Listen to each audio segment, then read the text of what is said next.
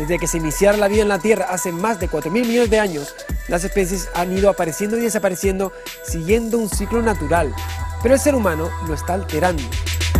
La biodiversidad es el arma que tiene ahora mismo el ser humano para frenar el cambio climático.